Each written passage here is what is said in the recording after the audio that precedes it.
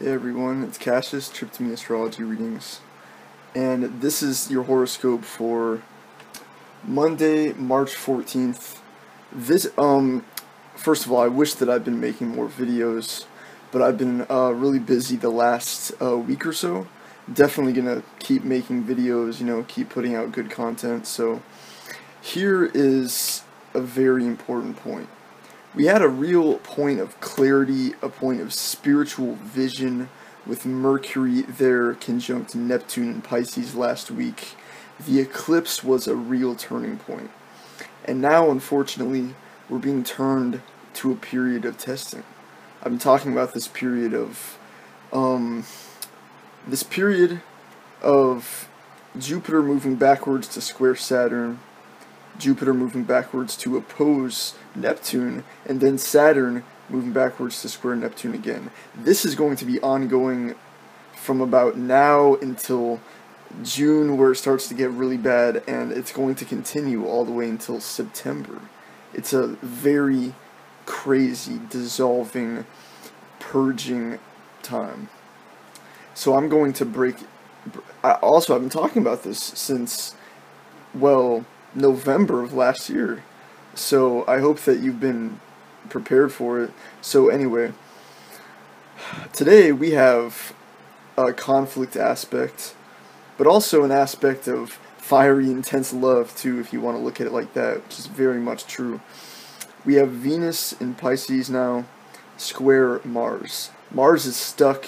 It's going to keep moving slower and slower until it gets to about 7, 8 degrees Sagittarius, and it's going to retrograde slowly back into Scorpio and then back for several months. So, right now we have what I call a, a square semi square complex. When you have Venus in Pisces, square, Mars in Sagittarius, and then Pluto directly in the middle when you have a planet in between two squaring or sextiling planets, you have a semi-square or semi-sextile complex. This is extremely important. It makes it much different from just Venus square Mars. This is Venus square Mars and Venus semi-square Pluto exactly and Mars semi-square Pluto exactly. It just passed. It's uh, it's still it's peaking right now exactly. So Mars semi-square Pluto is something that's going to be stuck on and off for the next several months as Mars will be very slowly moving backwards here. It's going to again be like a fiery, purging, explosion causing, purging, transforming, fiery, heated, and also actually very sexual. I don't know if you want to hear that, but it's true. Um, Mars semi square Pluto. Pluto is a purging thing. It explodes something and makes you have to confront something so that you can change it. It's like a psychedelic. So with Pluto and Mars contacts with squares and semi-squares, oppositions, it's one of the most volatile aspects in all astrology. Today we have a, a high potential for volatile social explosions. But at the same time, we have a real restraint and a real um, restraint, you know, a Saturnian uh, restraint and holding yourself back from having some kind of social explosion. Depression, too, hardened, you know, that cold Jupiter square Saturn feeling. That's what we really got kicked off when the eclipse opposed Jupiter and squared Saturn. But the main highlight of today,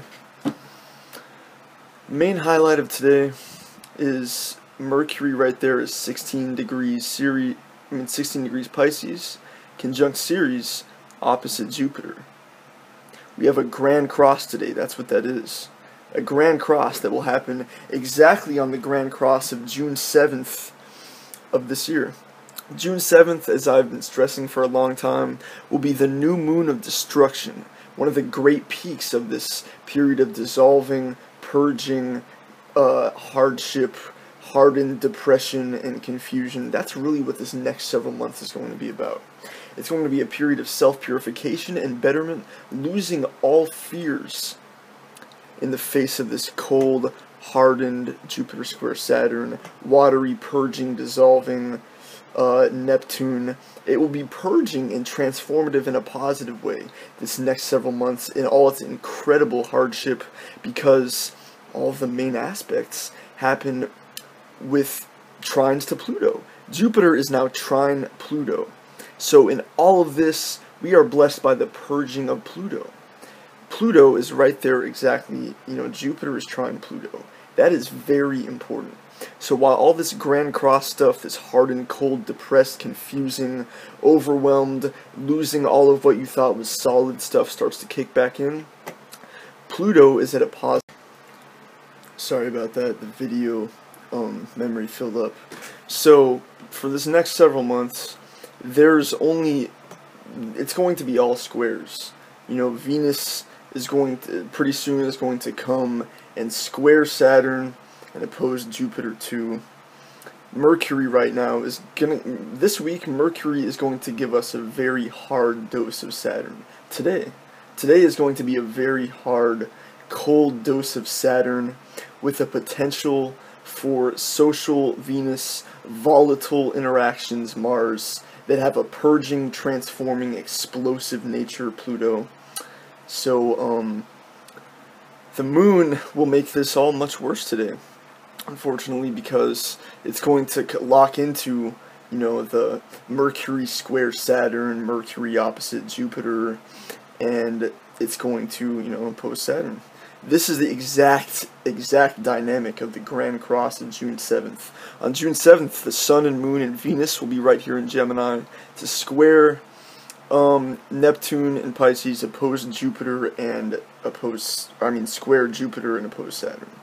So just like the dynamic of today is cold, watery, uh, silent, kind of weird like that, this is just a taste of what's going to come in June. But, you know, this it leaves us with this reality. The reality is we have to have a solid structure in our lives. We have to have solid convictions and purpose and everything in our lives without even needing, you know, this positive energy in the air. We have to be strong throughout this. The fact that Pluto is one of the only planets that any planets are making positive aspects to in this next several months, as Mercury retrograde in Taurus in several months will trine Pluto and stay stuck there. As um you know that's that's how it's going to work. It's going to be Pluto is the only one of the only planets that positive aspects will be made to in the next several months. So that indicates that, you know, as Jupiter will stay trining Pluto, and Saturn will be semi-sextile Pluto right there. Pluto. Pluto is about self-transformation, purging, getting rid of what doesn't serve you, confronting some of your darkest um, it's it's about like purging out and changing these opinions that you've been holding on to that no longer serve you these things that you believe that are not true that you just stubbornly cling to because you have an ego you know type attachment to them pluto will purge them out just like a psychedelic like mushrooms is known to alleviate people's fear of death and that's why people in old age often have psychedelic treatment and they they need to alleviate their fear of death. Pluto does this. Pluto will kill your fears, will force you to confront them, then you'll feel refreshed. Then you'll feel better, you'll feel pure, you'll feel strong because you finally just did the thing you were most scared to do, which is accept that reality is much different from how you were taught it was. That's what this whole Uranus Pluto square is all about. As as I told you before, this this Jupiter square Saturn, it's locked into in a positive way the Uranus Pluto square. The Uranus Pluto square is the most important aspect of this decade because it's purifying, purging, transforming our ideas, our ideology, and our trajectory of technological advancement. Uranus. Just like the Uranus Pluto square in the 1930s and the people that were born with it, like the Black Panthers and the revolutionaries that were born with this ideological purging inside them, the Uranus Pluto square is all about revolution. It's all about revolution, Pluto of the mind, Uranus. It's about purging and destroying the old ideas that don't serve us to face reality. It's about it's about letting go of our old preconceived notions to realize that the world is a lot more complex than we thought it was. We need our natural rights as people. We are confronted by corrupt governments on all sides, all kinds of countries, all over the world. We are being assaulted by the powers of the world. And this is a wake up call for the whole world. That's something political, but anyway. So, this Uranus Pluto square locks into the structure of Jupiter square Saturn because Saturn is semi sextile Pluto, positive aspect, and Jupiter is trine Pluto, positive aspect, of course, and Saturn is trine Uranus. So, after all this purging, after all this destruction, and confronting our fears and crazy stuff the next several months. After Saturn leaves retrograde at the end of the year, Saturn is going to come back and trine Uranus again and crystallize and solidify once more the progress from our hard lessons of the last several months. We're in for a period of great hardship right now. We have to learn how to deal with it and learn what is pure, what remains solid after all of this what remains pure and solid and real in our lives after we're forced to confront what doesn't serve us anymore. We can't have nothing but positive aspects all the time because a human being that remains docile and never having to go through hardship, they don't learn, they don't grow. This is a period where we're forced to grow, and it's beautiful. It's absolutely beautiful.